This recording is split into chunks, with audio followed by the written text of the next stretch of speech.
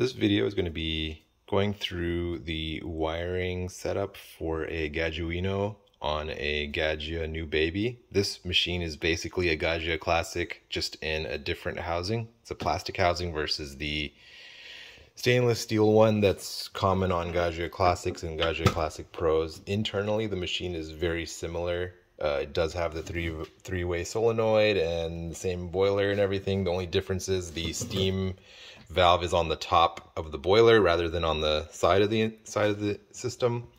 And then uh, instead of the rocker switches on the front, we have these uh, toggle buttons, which I've disconnected them from the housing to allow some space to kind of show some of the wiring, but you would push them in to engage and then press them to release instead of a rocker switch.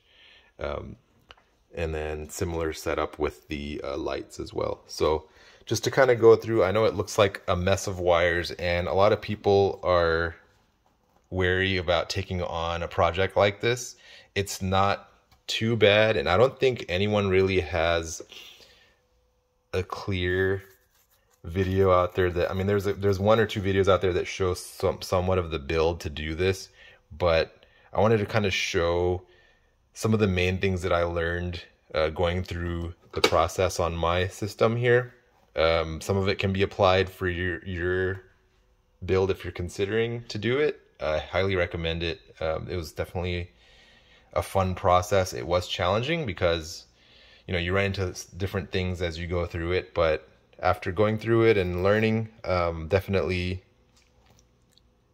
felt rewarding at the end of it. So, um, without any further ranting or wasting time, let's get into it. So, um, one of the main points uh, that you're going to be doing differently is the buttons on the front of your system.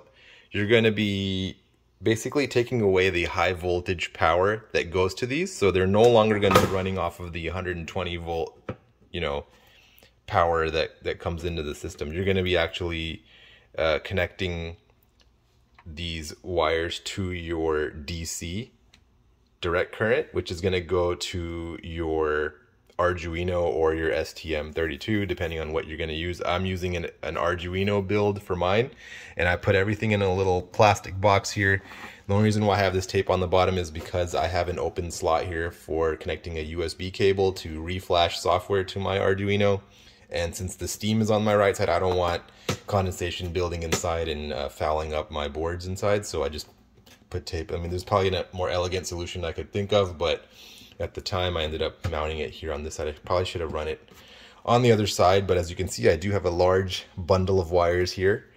And if you're going to be doing it the the way they describe it on the on the Discord, it's the Lego method. You're basically going to have to have individual components that are all going to have to fit inside of this some kind of enclosure or inside the housing of your instrument.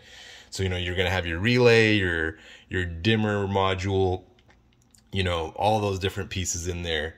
Um, what I have is an all-in-one PCB, which I think now they have the option for people to participate in the all-in-one PCB, which basically combines everything into one nice, easy, convenient package, which immensely makes the wiring easier. So all you really need to have is your high voltage coming in um, to the system here. So you'll have your pump, your three-way, and your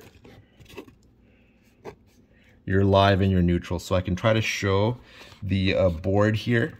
So if you look here, you can see very closely, there's a three for the three-way solenoid, a P for the pump, and then an L and an N. And so these are gonna be your main um, higher voltage wires, which run. And so what I did is on the rear of this on, on the rear of this system, we have basically the power button, which is another momentary button, or not momentary, but a toggle button here. So what I did is the live and the neutral, um, the live and the neutral have been set in this in this way to, to kind of feed into all the wiring of my system. So this will actually provide power, the live, to the live on the board, And then the neutral, you can take a, a splitter off the neutral and share it here to uh, the board. And then from there, we also have obviously the rewiring of the other pieces in the system here. So um, on our three-way, we have one of our wires that goes to our PCB, and then the other one is a neutral. So our blue here is our neutrals. And I had to use some Wago connectors, which basically are kind of like a big splitter. So anything that's connecting to here is sharing the same connection. So as you can see, I have a lot of neutrals that are sharing off of this main neutral here. And then my touchscreen Nextion controller here is um, wired in. There's actually a plug on this PCB that goes straight in for our touchscreen. Which, let me see. Yeah, it's going to be this first plug here. It's going to be our touchscreen. And then our, this is our steam, brew, and ground for our button detection, which is our DC wiring, which goes to the buttons here. And then here we have um, additional set of wires. Let me trace them where I put them. Gotta remember how I'm running everything to walk myself backwards on what I did here. Apologies, I, I reversed that. This is gonna be my touch screen this is going to be my be my pressure transducer here. And we do have the ability as well with this PCB to integrate a scale or a load cell on this empty plug, which I haven't utilized yet. Um, our thermocouple goes in right here for this green port on the on the on the board here. And then this board will just plug in on the top of this base PCB. We did have to rewire the heating system for the heating elements. So both of the heating elements are now routed to go to um, a solid state relay. So the solid state relay will then have a high voltage side and a low voltage side. High voltage side obviously is going to run to the heating side and then the other side will go to our lower voltage. And that's how, through the communication with the Arduino, it'll control the solid state relay to decide based on what button you've selected uh, for steam or brew. And we're only using one um, of the positions here on the side of the boiler for the thermocouple. The other one is removed. So we're no longer using the steam thermostats. Those, those old mechanical thermostats are removed out of the system because we're going to rely on this, this board to do the uh, thinking for us. My pressure transducer is sitting underneath this main plate. I can probably take it off to show. And I will do that really quick. So if we take a look underneath the system here, we have our pump here, we have our power switch here, along with its live and neutral wires.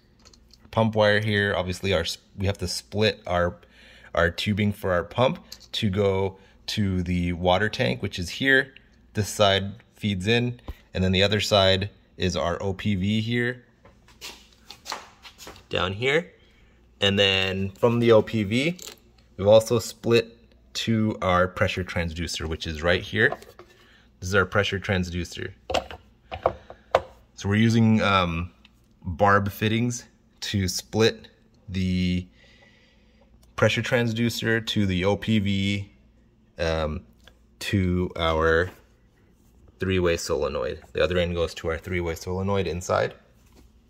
And then we have our solid state relay. i am running a heatsink on it because I don't have a metal housing for this in, for this uh, machine. So uh, we have our high voltage side here, black and red, which run up through here, through the bundle of wires, and run over to our plugs here on the on the board. And then on the low voltage side, we have our blue and our red, which are then running up through here. And then they connect to our wire here. So our low voltage. I'll run them there. I hope this is somewhat helpful. It's not super complicated. Obviously, we just need to make sure that the wiring there's a lot of wiring diagrams out there with the with the all-in-one PCB it does simplify some things down so you're not having to run like a spaghetti mess of of wires everywhere. So if there's any questions uh, feel free to um, post it up. I'm gonna put this up so that people have something to help follow with um, to guide. It's not I think the biggest challenge is just wire management because you obviously have to bundle your wires and get them out of the way so they don't get in the way when you put the housing back together. And um, the Gaggia Classic and Classic Pro have a lot more space inside to work with. You could possibly even put that whole board inside the casing of the housing versus sticking it on the outside. So um, I'll see if I can get another shot on the inside so that we can trace some more wires. This gray neutral here is from our pump and it goes over to our pump on the PCB, which is that gray wire right there.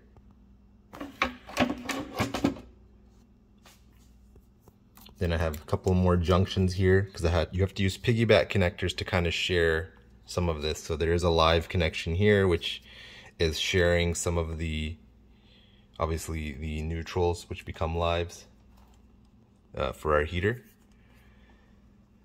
And um, obviously you want to, you know, manage your wiring so it doesn't pull off under tension so you have enough slack but then not too much slack to where it gets in the way when you you know button it back up. So um, I'll stop the recording here and um, I hope this will inspire some people or you know clarify some things. I'll see if i can uh, link some uh, schematics that i used for my wiring setup that might also help illustrate kind of in your head how you're going to kind of map out your wiring.